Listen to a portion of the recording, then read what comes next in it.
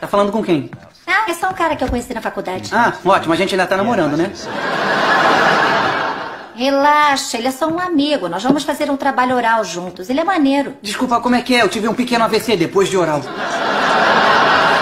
Você pode parar?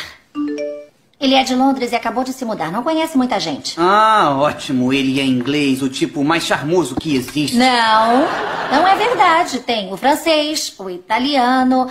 Não, você tem razão, é o melhor. Disse que tem namorado. O assunto ainda não rolou. Devia contar. O que, que eu devo dizer pra ele? Ah, não posso falar agora, tô com meu namorado, a Inglaterra é uma bosta, você é uma bosta, viva a América.